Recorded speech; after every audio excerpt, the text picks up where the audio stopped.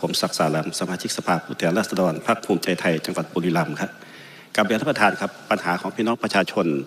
ที่เกิดขึ้นซ้ำซากให้กับพื้นที่จังหวัดบุรีรัมย์คือปัญหาการขาดแคลนน้ำอุปโภคบริโภค น้ำเพื่อการเกษตรของพี่น้องเกษตรกร ทั้งที่ปริมาณน้ำฝนในฤดูน้ำหลากมีจำนวนมากมาย แต่ไม่มีพื้นที่เก็บกักน้ำเพื่อเป็นการแก้ปัญหาการขาดแคลนน้ำในพื้นที่ตำบลพรสำราญอำเภอคูเมือง ซึ่งมีพื้นที่ การเกษตรอยู่ประมาณ 1 0,000กว่าไร่ มีจำนวนครัวเรือนอยู่ 7 800ครัวเรือน เช่นลำห้วยลึกลำห้วยขมิ้นที่มีสภาพตื้นเขิน ฝายน้ำฝายกั้นน้ำชำรุดทรุดโทรมไม่สามารถเก็บกักน้ำได้ ฉะนั้นจึงกราบเรียนไปยังท่านประธานผ่านไปยังชนประธานจังหวัดบุรีรัมย์ได้สำรวจตรวจสอบ เพื่อแก้ไขปัญหาต่อไปครับผม อีกเรื่องหนึ่งครับ ได้รับการหารือจากท่านนายกเทศมนตรีเทศบาลตำบลเทมันชัยอำเภอลำไปางมาศนายทีวีเกียรติ